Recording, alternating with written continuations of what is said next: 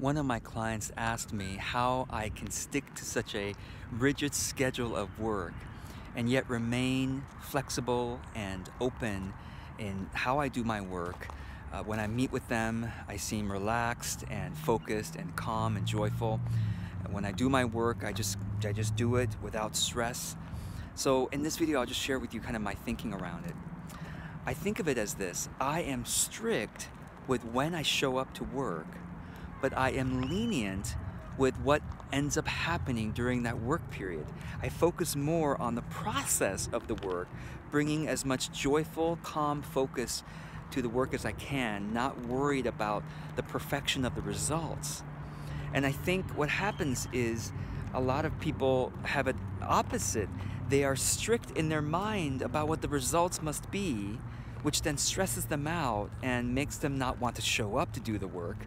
And then they are lenient with themselves on whether they show up at all.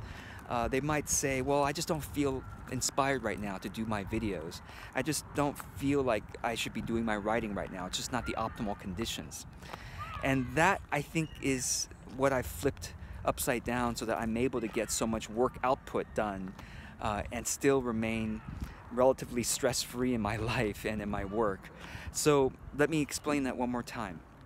I am strict about showing up and then I am compassionate with myself, lenient about what happens during that time as I show up and do the work. So, um, you know, right now, for example, I'm, I'm visiting my, my parents and um, I'm at a park that I'm not familiar with there are kids playing right here. It's kind of loud, as you could probably hear. There's screaming noises. It's not the optimal time for me to be doing my videos, but, but I basically have a schedule of doing my videos on Friday afternoons. Uh, for the coming week. I do three videos on Friday afternoons. I record them and then I publish them Monday, Wednesday, Friday the following week. Um, you know, otherwise I have to try to figure out a time to do it on Saturday or Sunday, and I'm just kind of used to this this schedule now, no matter what. I'm not feeling optimal right now. I'm a little bit tired. Um, you know, there's noises here. It's not optimal, but I show up and I do the work and I'm self-compassionate about what the results are. You are watching the results right now. The lighting isn't optimal. You know, I've got shadows on my face. There's a lot of things that are not optimal, but I show up and I do the work. I'm lenient with the results and I focus on the how am I being right now. That's more important uh, am I bringing more joyful, calm focus to it? And if I am, that's what I call success. I don't care how many views this video gets, you know, et cetera, et cetera, et cetera.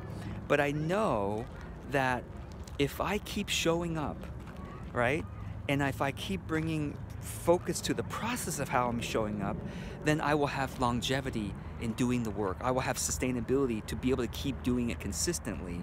And that's what builds my skills the most, and that's what builds my audience as well, because they can see that I'm consistent and reliable, and they perhaps will get inspired by that, and they will continue to be, you know, watching my videos. I have, I'll have more videos out there for people to find, and also because I show up in such a way, people can sense uh, maybe the, the joyful calm, and, and they're attracted to that, etc. So it's really about showing up consistently and then instead of being perfectionistic about one particular result that you're showing up for, look at the perfection of the whole process, knowing that if you just keep showing up, you're going to create great results over time.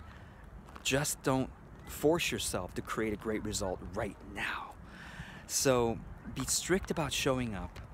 Focus on the process, how you are being as you do the work. I say, sometimes I say, your state is your top priority. How you are being as you do the work is more important than what happens and as the result. Be strict about showing up, be self-compassionate about the results, but keep showing up consistently and you will create extraordinary results over time. Just let it emerge eventually.